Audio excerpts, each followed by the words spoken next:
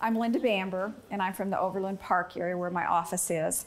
Um, I have a unique business, I think, of course, because uh, I do work with women's breast health, and the name of my business, as you can see from my information, is BRAS, Breast Research Awareness and Support. And um, like everything, I started the business out of a need. Both my mother and my sister were diagnosed with breast cancer six months apart. So after that diagnosis, I was kind of struck. Oh, what do I do? You know, and so I did go to my doctors, and they suggested I have a double uh, a prophylactic mastectomy, and that was 15 years ago. You know, so I chose not to do that, and I was a teacher. And I started studying and trying to learn some things to help myself. And all of a sudden, my friends are going, why don't you share this with other people? So that's how Bras was born. And right now I have 12 other businesses around the US that women have purchased and like the, the uh, idea of sharing breast health information with women.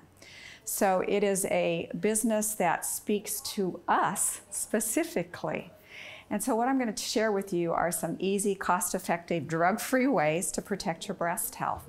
And I think that's one of the major things that I found in um, my search was that we're not taught anything. We're not given information so that we can protect our own breast health.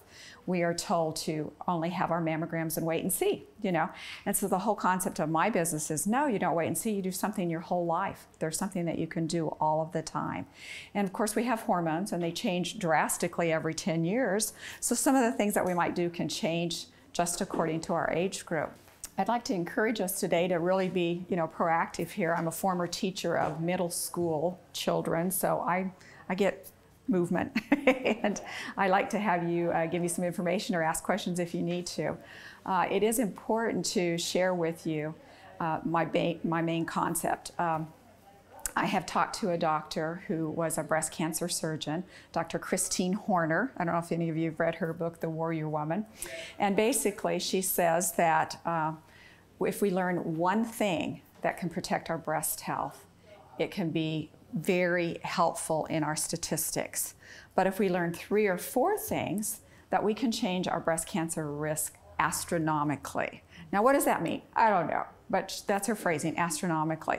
So, what I challenge you today is to see what you can do to change your risk astronomically. So, I'm going to have a show of hands here once in a while to see what you have learned and what's different because we want to learn three or four things. We don't want to just learn one thing, we want to learn several things. So, that's what my, my little booklet's all about. So I did forget to mention that my mother and sister are both breast cancer survivors. So I should say that. And so I just talked to my mom this morning, and she's she's in pretty good shape. So what I want you to do is kind of open your little booklet to the middle, and I'm going to talk about the first couple things that I think are so unique that we are missing as women. Now I started this business over 11 years ago, so some some women are learning a little bit more. But when I first started, there was not one woman in a large group that would know that there are eight teeth that can protect your breast health or harm your breast health. How many of you know that there are two teeth up and down on each side, our, our molars, our back teeth, that can actually be connected with breast cancer? Raise your hand if you knew that. She did. She's been to my class.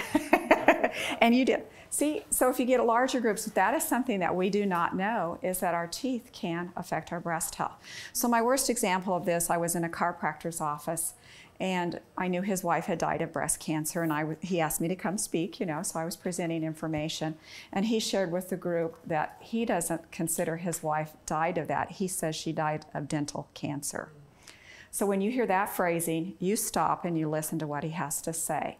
And his story was that she had been diagnosed with breast cancer. So, of course, she'd gone through all the testing, a huge amount of testing before they started chemo and radiation and the surgery.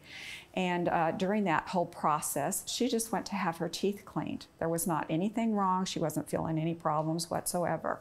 But during the cleaning process, how was it that pus hit the technician's shield with force and the ceiling with force from a tooth she did not even feel?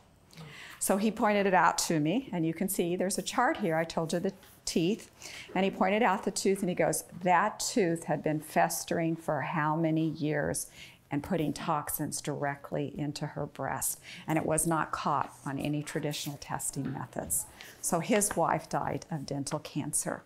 And you will know that if you look into uh, European cancer ideas, that they are, that's one of the biggest things that they do is work with our dental health for any kind of cancer. So there are men that can have prostate cancers, there's kidney cancers. It's just unbelievable.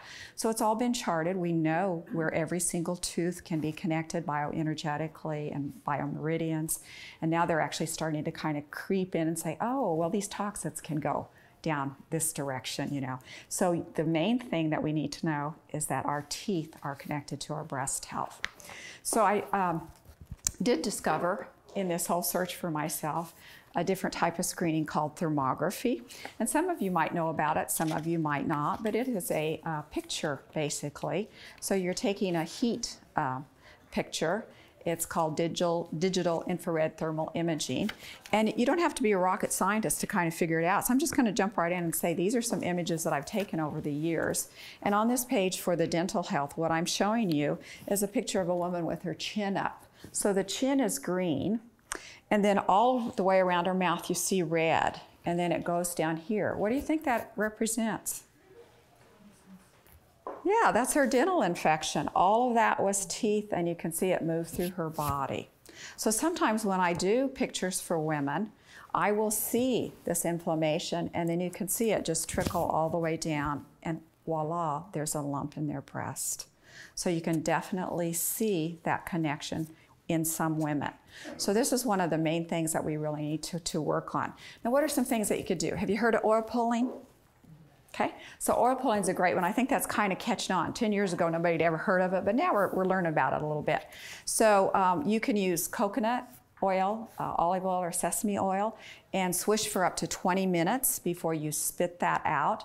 And I now have women who have been back and forth to their dentist, you know, and they're reporting that my dentist doesn't care what I'm doing. He doesn't want to know, but he tells me that my gums and my teeth are so much better. You know, isn't that interesting? So I've got lots of feedback that that really is working on women to keep that uh, working.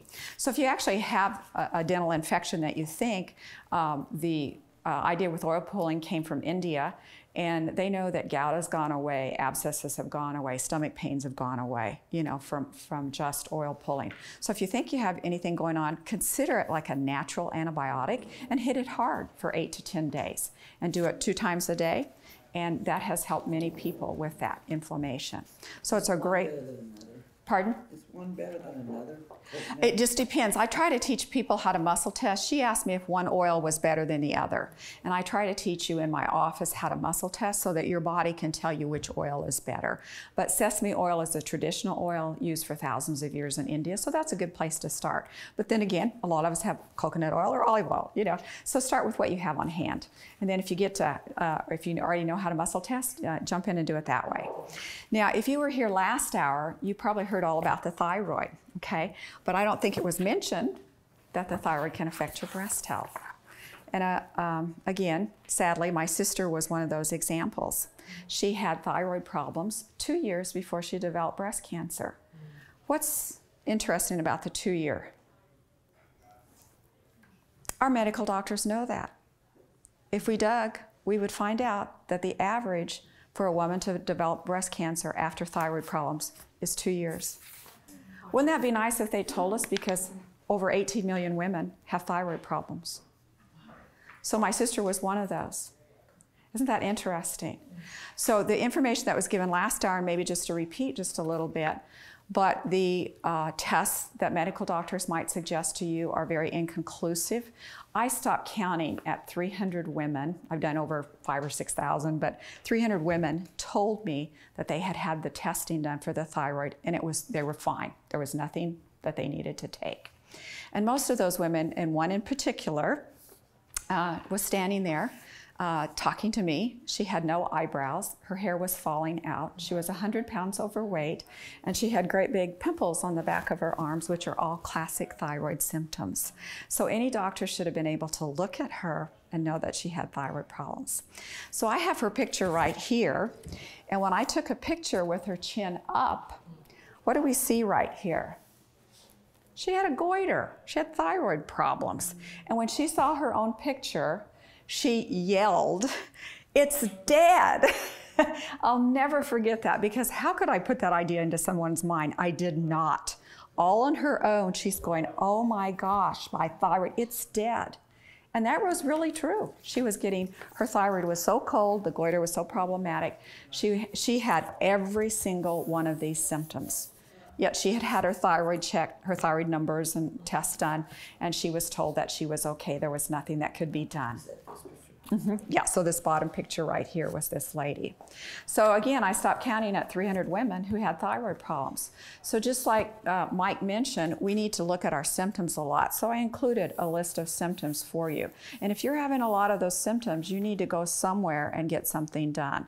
Now there is a misprint at the bottom. Someone always thinks they know more than uh, I do when I send it in, and they changed the 98.6. I had it 97.6. It's supposed to be 97.6. They give you one degree variation. So your body's 98.6. If it's 97.6 when you do the basal Barnes test, then you know you have thyroid problems. That is the best test ever. You just need a thermometer to tell you if your thyroid is, is not working correctly. So I'd like to stop for just a minute. I'd like to show you one exercise that might be life-changing for your thyroid. Ready for this? Mm-hmm. Okay. So you're just going to take your hands like this and go across your neck. Gee, is that hard? Can you do that? Mm-hmm. Can you put your hand on the steering wheel and drive like this? Mm-hmm. Is this something you could do because it cleans out your thyroid? Okay, think about this. Okay, what if your thyroid in this picture is very red or inflamed or even cold? Aren't you activating it, cleansing it, detoxifying it? You're getting some movement out of that. So I wish I had enough money for a double blind study, obviously, but I've had two women who came to my office and we saw pictures like this where their thyroid was not working correctly. And for some amazing reason, how things work out, they had already taken their thyroid temperature and they had a chart for the last month on what their temperature was. And it was below 97.6. We decided to do the thyroid exercises and they continued to take their temperature for the next month. Guess what happened? It went back to normal. One degree in one month. That's better than a supplement. Okay? So, she did it about a couple minutes, or they did it about a couple minutes, uh, two times a day at least. Mm-hmm. Yeah, and then the whole month. Now, can it get any easier than that? You know, about two minutes a couple times a day. And if you do it more or less, is there an issue with? That doesn't seem to be yeah, I don't know. That's why I said I need a double blind study, you know. But isn't that interesting to think that we could do something so simple and maybe not even have to take a supplement? Of course, there are some good supplements, but that's what's uh, problematic today is that we are, uh, maybe our thyroid could be having. I forgot to mention, where do you think the tooth goes to first? If you have a tooth on this side, these teeth that bother our breasts, well, they have to go to the thyroid or the parathyroid first, and then they drizzle down to the breast on the same side and then move through our body. So a lot of times you are detoxifying um, dental toxins, which could be the mercury, could be any of the materials, it could be a bacterial infection, could be a combination of both. So we just need to think that uh, about these two teeth and how you know they're also going to be uh, problematic with our thyroid also, our parathyroid. So another idea that's so important that happened to my sister probably uh, is the fact that she didn't have any iodine or enough iodine in her body when we talk about the thyroid. So there is a simple test that I have uh, for you, and you'll just turn back a page and you can see the iodine. Uh, it's labeled iodine right here. So what happens when we don't have enough iodine? Our bodies are very hormone problematic we have an iodine receptor on every single cell in our body. So, what if we don't have enough iodine and those receptors aren't filled? They fill naturally. Sorry, it is natural, but they will fill up with mercury, chloride, fluoride, or bromide. They are all the same atomic weight, sim- similarity. They're not the exact weight, but they're similar atomic weights. Remember that from high school chemistry? You know, we don't, but that's how that is actually working. So our bodies will just slurp in all of these toxins because we don't have enough iodine.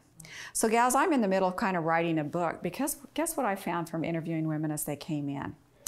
When you look at a bottle of iodine, Lugol's iodine, most of the time it will say between one and three drops. We're very limited on the amount that the medical community or the, uh, you know, that we are told that we can take. But guess what women in the 50s and 60s did? Pardon? glass. They actually made their own suntan lotion with Lugol's iodine and baby oil and rubbed it all over their bodies all summer long.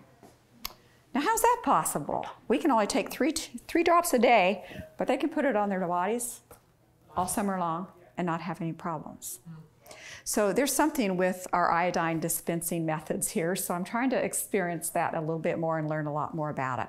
So just uh, off the top of my head, or you know, when we think about it, we have uh, gotten some information last hour about how all of the seafoods are very good for our, our thyroid, and basically, um, the Japanese women take hundred times more iodine than we do, just in their foods every day, daily. So we are extremely deficient. We used to get our iodine in our milk products from our grass fed cows and things like that. And we're not getting that source anymore whatsoever. So we are just completely very, very low in iodine. And then again, don't forget what happens when you have no iodine. Your body fills up with chloride, fluoride, bromide, and mercury. So what are we full of? Not iodine, probably. so that can be very problematic. So one way that you can test right here is to do basically a, an iodine patch test. And so you can take some iodine, just use the uh, Lugol's iodine, and you can put it on your wrist and kind of watch to see how fast your body absorbs that. Okay, ladies, I've, i give it at my office and I'll have women paint it on their breast. It's supposed to stay on about 24 hours. I've had women driving home call me, you know, they're evidently looking down. as they're on their way home. And after 10 minutes, they're saying, It's gone. I can't see that patch anymore. So, again, are we iodine deficient or what? Okay. Now, I'd like you to read the top paragraph right here to yourself, or maybe I can see if I can read it out loud. Basically, the reason that we these women are, uh, our, our women are getting breast cancer, the thyroid gland, maintained by iodine, controls body temperature. Low body temperature allows cancer cells to proliferate. How many of you have cold hands and feet? Look at the position we're putting ourselves in. Okay, for years, it might go on for years, but sometimes our bodies are going to have problems at different rates and speeds. So 18 million of us have thyroid problems, 18 million of us or more probably have iodine shortages. So that's a big, big clue to us. So we want to have some iodine in our system definitively is the way to say that. Now somebody will have to tell me what the time is. Um, I have done 12 hour breast health workshops. so there you go. I hadn't seen it. I've been sitting over there. So uh, I can talk a lot and about a lot of different subjects, and this is only one of the little booklets I have. So I've got lots of information for you, ladies. So if you just want to uh, turn the page and go the opposite direction, we've got a bra. Obviously, that's what my company's named after. Can I make a But- comment about Lugol's? Yes. Okay. Uh, I tried Lugol's, um, but Lynette put it all over her body, and I just took a little bit, and I'm, I reacted to it. So I took it into our office, and we did a bio, uh, body testing with it.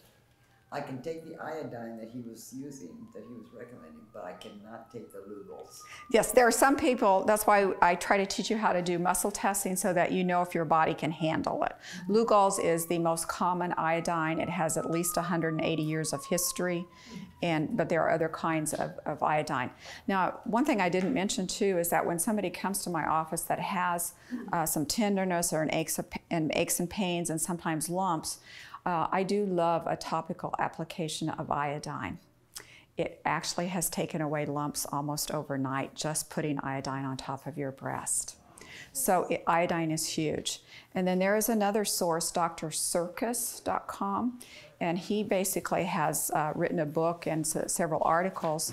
And when someone comes to him who actually has a breast cancer, he, instead of doing surgery, his suggestion is topical iodine on their breast, maybe 20 times a day, plus magnesium, plus uh, some uh, herbs, uh, CBD oil, um, baking soda. And so I have a list in my office, you know, and a handout for you on that. Didn't have time to talk a lot about it today, but it would be drsircus.com to look that up. So iodine is really one of my favorite things uh, for all kinds of uh, breast problems. And usually uh, that just uh, helps your thyroid. It just sucks it all in, you know, too. So uh, don't forget that you need to learn about iodine to protect your breast health. So uh, thank you for that question. That, that answered a lot of things. So another thing that we'd like to talk to women about is just their bras. So obviously when you come to see me, I can do some imaging and some scanning for you. And so one of the first things women are always uh, actually doing is saying, hey, look at my bra. Is this any good or not? you know? So it's only something that women can tell you about, you know? But we are wearing very dangerous bras. Okay, so if you're wearing an underwire bra, you are causing yourself some breast health problems. So it has been studied, and it was right here in Kansas City that Charles Graham discovered that uh, EMFs from all of our cell phones and everything around us today will uh, cause problems with testosterone and estrogen. So, need I say more? So, when you're wearing a, an underwire, what do you have? An antenna right there. Okay? So, to kind of back this up, in my small office, I've had a lady come who was wearing her cell phone in her bra with underwires, and she had two to three, they were trying to decide whether it was two or three kinds of breast cancer right underneath the cell phone. I've seen that on the internet, but I was shocked when somebody presented in my office with that problem. I've had another lady who changed jobs and she had to wear her cell phone you know, in her pocket for part of that job. Within just a short period of time, she had developed a huge ovarian cyst. Okay? Now, the worst one, I had an older lady who uh, was a little bit crippled. She was about 86, and so she had a lifeline alert. And so she walked a little bit like this and set, you know, a little bit crooked. Guess what happened to her a year after her lifeline alert was added to her breast cancer under the lifeline alert? So, what about the new Fitbits? Ooh, that kind of gives me chills, ladies. We can't do that either. So now I have people presenting with all kinds of fatigue and adrenal problems and thyroid problems, and things are just getting accentuated and worse and worse and worse. And then somebody tells them to stop wearing their Fitbit, and guess what happens? All those symptoms go away. So, and then when you've got the bra on with the underwire, you've just made matters much, much, much worse. Now, I also have women who bring their 16, 17 year old daughters. And what, are the, what is that age group doing? They're wearing the underwires to bed and holding the cell phones in bed, and sometimes in the bra, but they're sleeping with their cell phone all night long, wearing their bra. I'm not sure where they heard the idea, but some celebrity told them. I tried to look it up, but the, the, one of the moms said, "Oh yeah, some celebrity told them you'll get saggy if you don't wear your bras." So they wear their bras to bed today. Yes. So I know this is about women, but I'm wondering too about if men, because a lot of men hold Oh, their yes. cell phones in their pockets, or do they see Sure. developing? Sure. What do we have? The lowest uh, sperm count in history.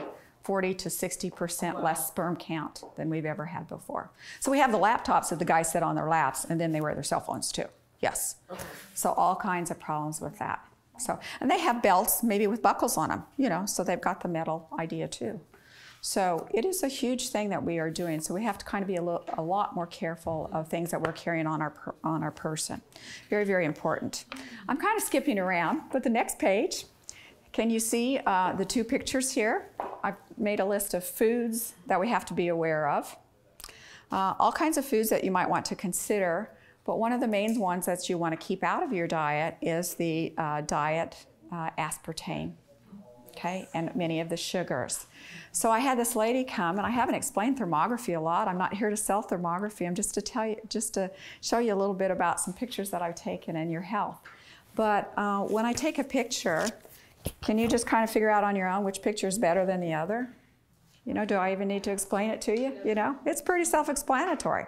So the lady came and she was really, really red and inflamed. And isn't what we're doing today all about inflammation and keeping inflammation under control? So I visit with everybody that comes in to try to figure out what is going on in their, their lifestyle. She was drinking eight to 10 cans of Diet Pop a day not drinking much water, you know. So this may be an extreme example, but uh, you know that made a difference. She got off for just two weeks, and her inflammation changed. Now that isn't even counting the ladies that have other kinds of health problem from that. So we do know that your food uh, affects your breast health very, very much. Now another example. Um, not sure I can come up with the name of it. I believe it's called myaspartameexperiment.com. I got it. There you go. A long name, but myaspartameexperiment.com. We do have uh, amazing uh, photos from a woman who tried to figure out why, how she could talk her family out of not drinking diet pop. It's like, man, I just wouldn't buy it. But she went to great lengths and she decided to do an experiment. She was a math major, uh, master's in mathematics, and so she devi- devised this intricate uh, test on mice and she figured out how to feed them the equivalent of three quarters of a can of pop a day, diet pop, but in a powdered form. And then she tracked these mice or these rats through her experiment. Guess what happened? You got fatter. Well, yeah. Uh, I think it was 40% of the women had uh, mammary gland lumps and growths so large they slept on them as pillows. All of the males became blind and developed prostate problems. And her experiment only lasted two years because they all died, you know. And so it, the list goes on and on. So she has those pictures on the website. So if you need anybody to be talked out of drinking diet pop or aspartame products, that's a good website. My aspartame ex- myaspartameexperiment.com. Mhm. So it's very uh, interesting uh, the things that we can or cannot do with our diet. Now, one statistic that I didn't mention with Dr. Christine Horner that I told you about earlier, she gave us the idea that we need to be learning. You know, three or four ideas can change our breast health problems astronomically. She learned the hard way herself. She was a breast cancer surgeon, and when she first started, all of her clients were my age, 65 ish, you know, and um, a little bit older. And then by, her 20, by the time her 25 year career went by, all of her clients were 30 and 40. So she knew that something had changed in our society. And it's these things I'm telling you about. We have changed everything. Our children are raised on pop for breakfast or, you know, wherever we want to go with that, you know. So what we do eat makes an absolute difference in all kinds of health for everyone involved. So this is just, you know, a few little things on your breast health I thought might be interesting for you. So we're going to keep going on and somebody tell me, uh, I don't know when I got started. I guess I didn't look over here. But lots of uh, little information about um, deodorant. How many of you are wearing a clean deodorant? Yay, okay. Wasn't 100% yet, but isn't that amazing? What, what could change? So, of course, we've been told that our deodorants are fine. But do you really want aluminum right here when it's known to cause breast problems? But there's positive medically that there's no way that aluminum under our arms can get into our breasts. There's positive. So you can find that all over the internet. I just can't handle that thinking, you know, and make it easy. You're going to get some clean deodorant. So I actually had a woman come in. I, I learned so much from my clients, and she goes, "Well, are you? Aren't you just wearing coconut oil?" I'm going, "No, hadn't heard of that one." I took her advice, and for five years, I've just been wearing plain coconut oil. You know, so I have my own little bottle, and if I need it, you know, that's what I wear. So I want to encourage you to get the cleanest deodorant that you can. There are all kinds of toxins in our deodorant. And sometimes even the, the things that we think are going to be clean, you read a little bit deeper on the label and they really have something in them. So really, one of the best things you can do is make your own deodorant, pass that around. You know, have some family recipes that you're sharing and make your own deodorant. Uh, somebody else told me they like vinegar. That one didn't work for me, you know, but uh, to each their own. So just try some different things. Uh, you might be surprised uh, how easy it can be. Was the vinegar uh, distilled or? It was the uh, apple cider vinegar. Mhm, Yeah. So uh, I- obviously, everybody has to kind of find their own uh, need to do that. But we do need to be very careful about what we're putting on uh, underneath our arms. Uh, on this particular picture, this is a side view of a woman. Do you think this looks correct? How should we look in this thermography example? Yeah, we shouldn't have any heat down our underarm area, should we? That's kind of common sense, you know. If we have a little bit of heat, it should just be up in our deodorant line area where we're going to be sweating and there's bacteria naturally in our body. So this woman was completely over the top. She was uh, wearing um, toxic underarm deodorant three times a day. Isn't that interesting?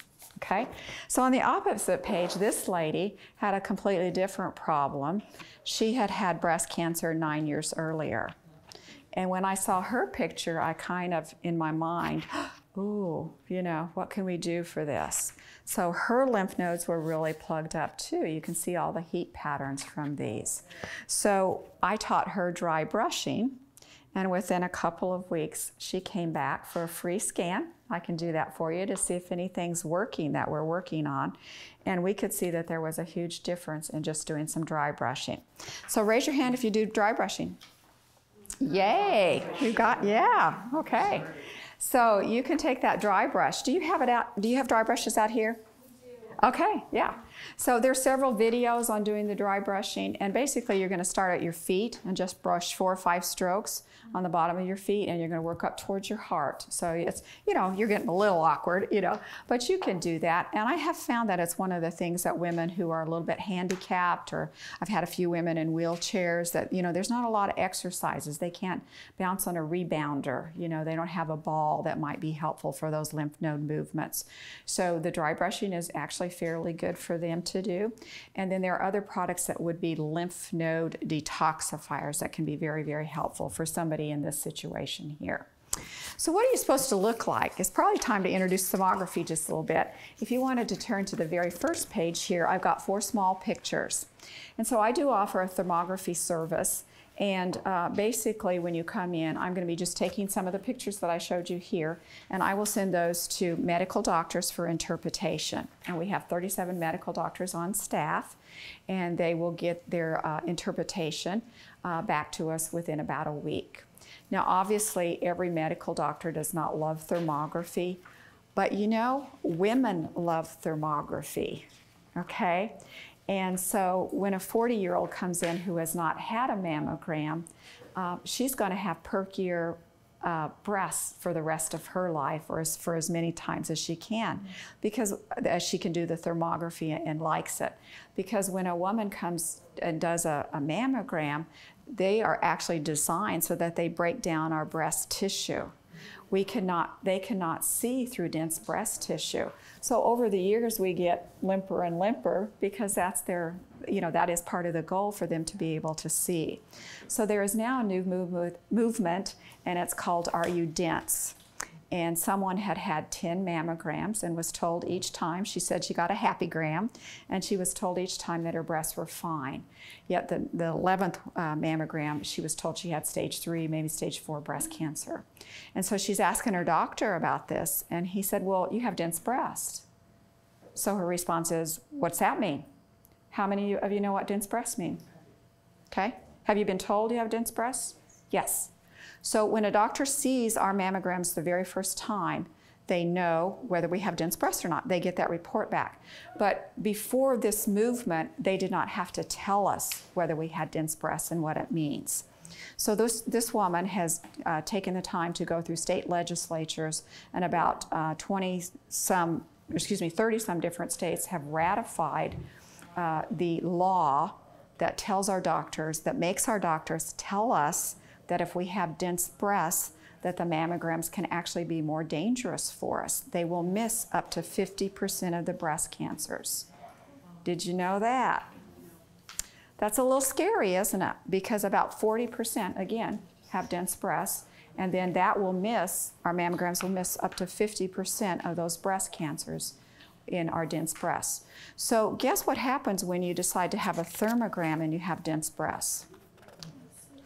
I just have to touch a button. click, click, click, and they can see through the density. What happens when you have dense breasts in a mammogram? Pressure, pressure, pressure, more radiation through that. So they're squeezing you at least a quarter of an inch thick when you get that mammogram, and then they're putting more radiation in you if you have the dense breasts. So I hope that's something that's kind of interesting to you. So the top picture up here is how they want a normal person to look, and she actually has dense breasts. So that's an example of why I was telling you about the dense breasts. Then we can see different patterns of heat. And so the next three ideas are fairly concerning in these women. So they're looking to see if one side is radically different and if there's heat spots in different areas.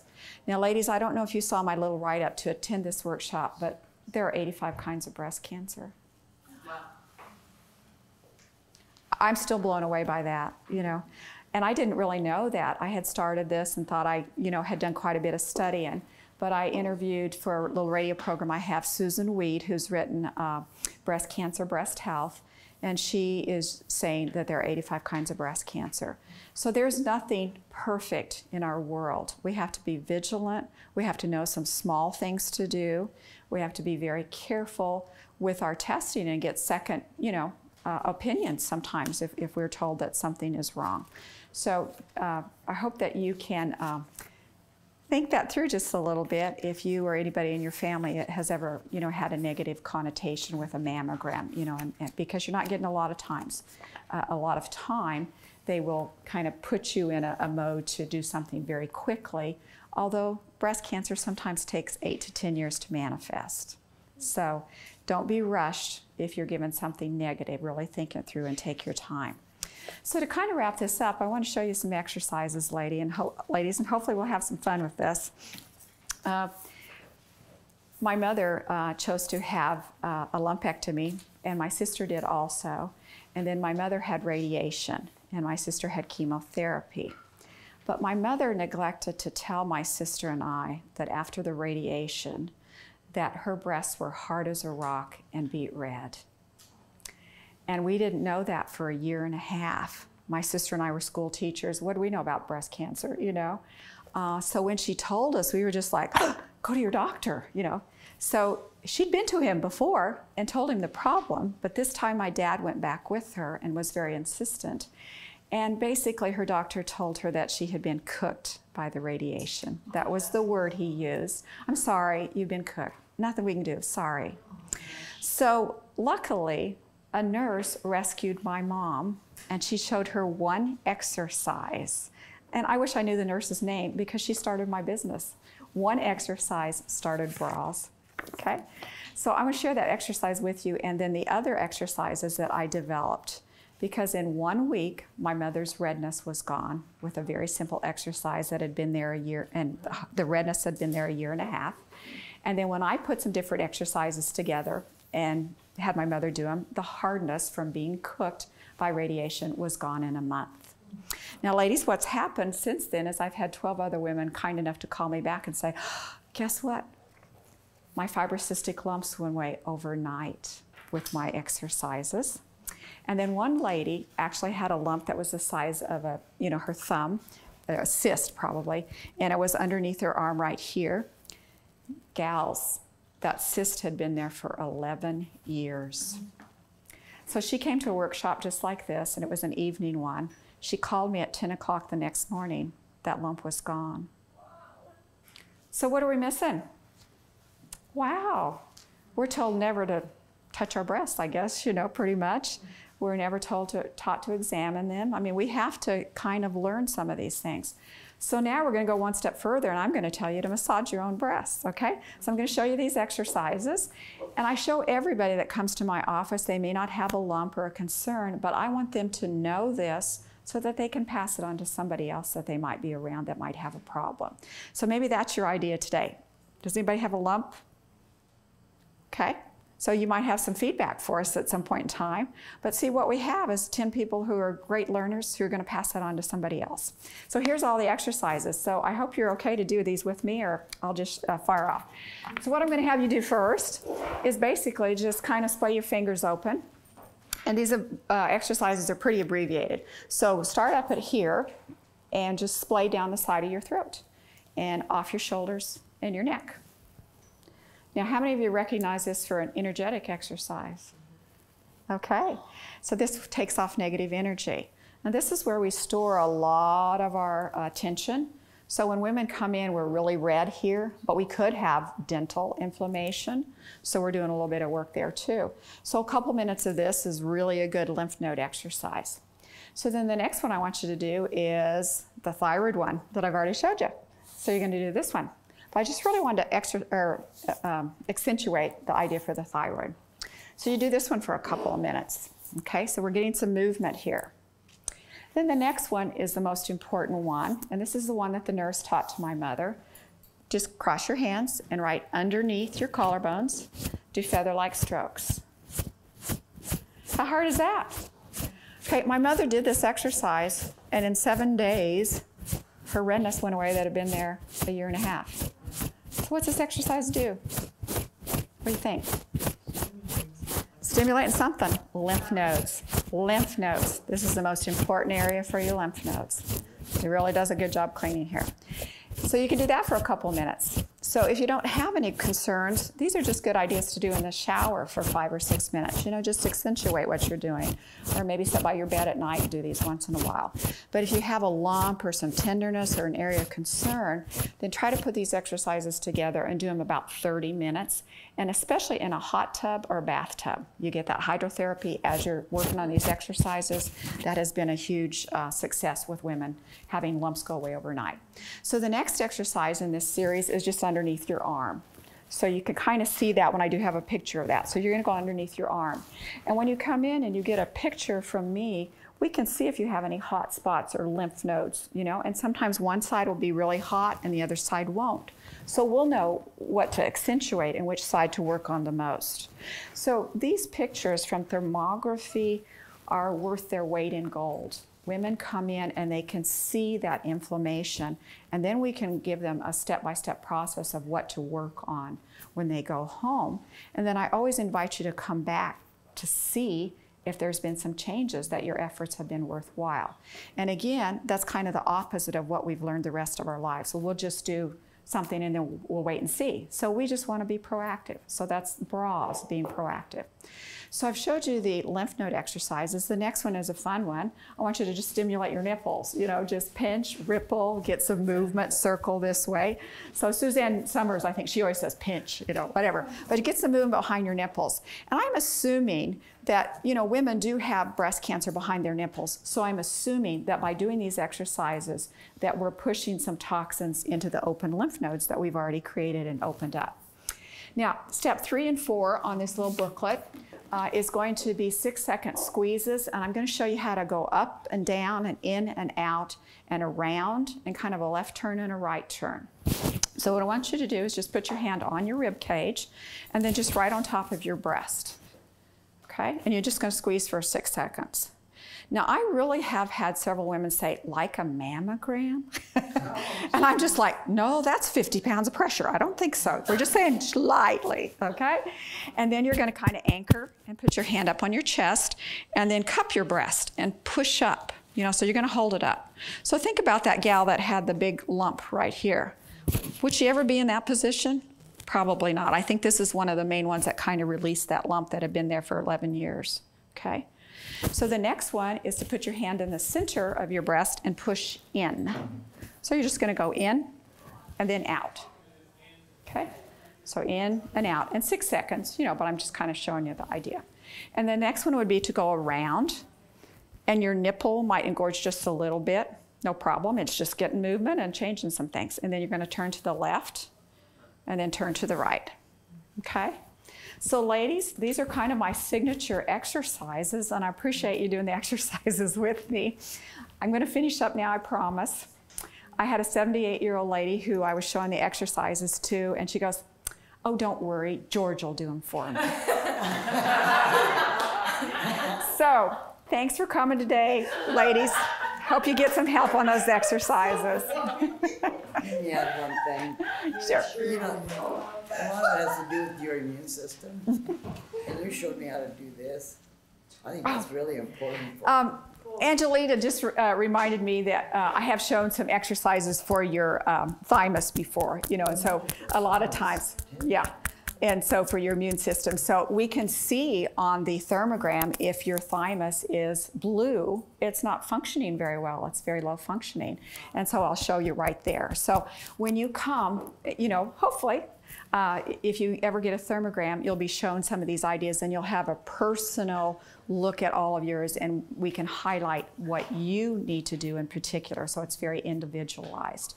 So uh, again, my office is in Overland Park. I do thermography. I can do just breast thermography. I can do upper body thermography. Uh, and that would be about uh, 30 pictures and that cost on that's 315 the breast thermography is 195 and then you could can do full bodies for 415 and there's 50 pictures. So they can there's a list of things of information they can give you with the non-invasive screening. So ladies i have a combination of thermography and breast health. Yes? Are, are you open yep. questions? yep. I was curious, I have two questions. One is, do you do thermography on young children? i can. I have had a nine-year-old girl with a breast lump. That's beneficial to start. What age would you suggest doing the Uh, I have mostly done it when there's a, a problem, you know, but I really like it when mothers bring in their teenage daughters. Mhm. That's a great time to start learning mhm, on that. And then my second question is, uh, what's your thoughts on breasts of different sizes? Like, um, so I'm a nursing mom and over six years I've been nursing. And I just, there's a very big difference between like breast size and a lot of it is because of the, the milk comes in stronger on one side than the other and also it seems to favor. Do you have any thoughts on why that occurs or any? You know, our bodies are completely different, and sometimes we actually grow that way. Uh, That is not an unusual problem. There are a lot of women who come in who have a, some, a, one breast, obviously a different size than the other. And my worst example, I had a, I did meet a young girl who had a breast uh, different, of different sizes, and so her doctors had suggested that she have a mammogram six uh, months apart during her teenage years. So she was 18 and she'd already had about 16 mammograms. So I think they have caused some problems in her at that stage. That's when you're growing the most and changing. So our breasts are kind of like our feet. We're going to have different sizes for some unknown reason. So unless there's a particular, you know, if you're feeling a lump or, you know, seeing something different or, or whatever, that that should not be a cause of concern. hmm Yeah. Um, have you seen, um, difference when there was like something, um, fibrotic in the, in the breast, um, like going to a massage therapist? Cause I went to one, um, and it actually went away after. Yes, yeah. So the massage therapist is able to do some of the lymph node movement, maybe that I was kind of showing you on yourself. So yes, I have several cards from uh, lymph node massage therapists. There's some people who do specialize in that, and that's a very good thing to do too. Helped me. Yes, great comment. Anybody else? Yes. Just with everything you're saying of the dangers of the underwire bras and everything, what are the benefits of bras? Like, because I feel like really Money talked for the inventors. yes. So it is strictly just an ornament of, you know, we're, we're just wearing them for, you know, an apparel, you know. So the apparel business is what, millions and billions of dollars worth, you know. So there is no actual need for that. And actually, women in countries who do not wear bras have no breast cancer. And as soon as they move into a country, and of course, they are changing their lifestyles, but as soon as they start wearing bras, they start having the same breast, breast cancer rates as women who, you know, wear bras all the time. In other Sports words, bras don't are wear a great. bra. Pardon? Sports bras, because they don't have any wires now. Uh, but some sports bras are okay and some are not. So if you wear a sports bra that pushes you in like this, that is actually negative because it's messing up your lymph nodes. But if you can get a bra that kind of pushes you out just a little bit and actually has some shape. So some of the sports bras, they kind of hold their shape. They can, you know, almost stand up on a, on a table and they're the shape of a bra. Those are pretty good, but the ones that are flat are a no-no.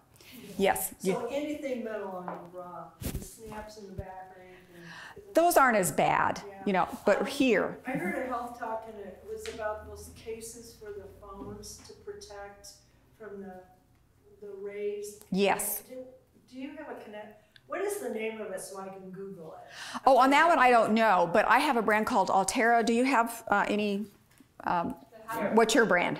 Hedron. You do, okay. Yeah, I figured he had some.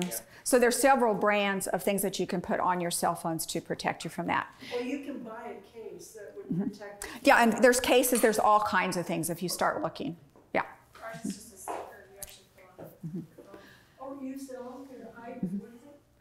And then, ladies, I, I never have enough time to talk, but the other favorite thing for mine, uh, instead of, you know, I, I do have my cell phone neutralized, but quartz jewelry is excellent to neutralize. So wear some natural stone jewelries. I have a whole workshop on that. And why you should have diamonds. diamonds protect your breast health, ladies. Wow. So come to another workshop. Why you want diamonds for, on your Christmas shopping list? Anything else, gals? I I know we're getting kind of late, but yes. I just have a quick question. My son-in-law's um, grandmother was just diagnosed with, uh, I guess, advanced breast cancer. She's chosen to have nothing done. Um, she just wants to be healthy and, you know, do it naturally and then just go to the, she's a believer in Israel. So is there something like this? I'm gonna mail this to her. Uh, in Israel, do you have any connections? There Israel? probably are because the company that I work with uh, has a, a strong presence in Israel.